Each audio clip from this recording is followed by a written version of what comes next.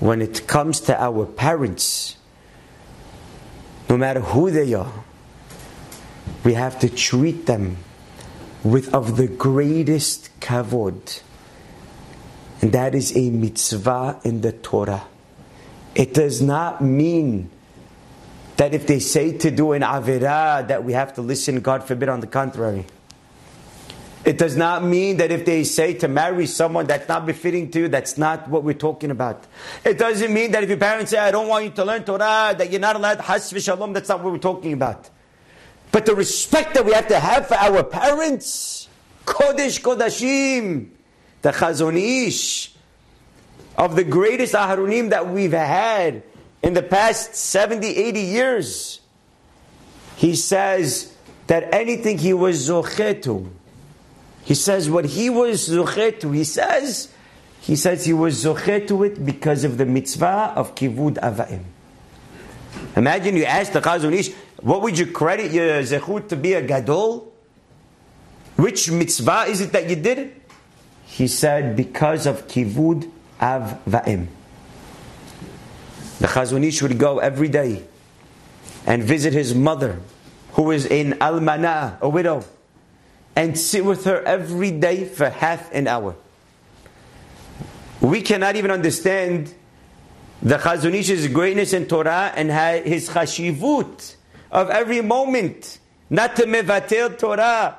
And he took half an hour a day to go talk to his mother. And she wasn't talking to him necessarily about Torah. She's a lady. How's your day? How's it going?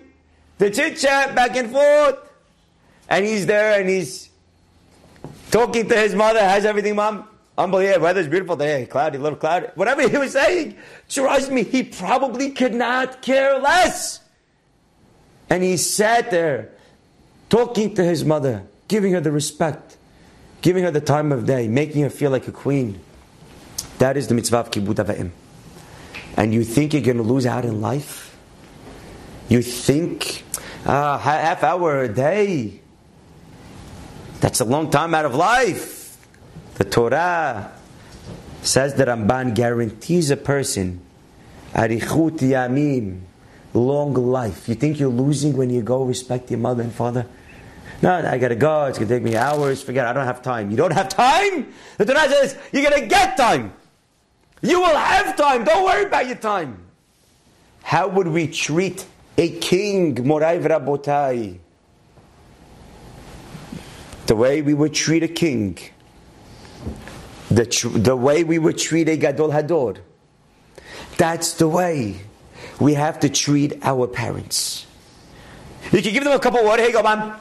Let's go. Take, it, Mom, you want water? or you can give her a cup of water. Mom, this is for you. And you just stay standing there until she realizes there's a cup, and then she can take it whenever she wants. I know it's hard. I got it, guys that it's difficult. I understand that. But that's the mitzvah of kibud. You can give your father a tissue. Dad, hey, you want a tissue? Here you go. Like he's a bub. Or the way they give the gadol a tissue whenever they're ready.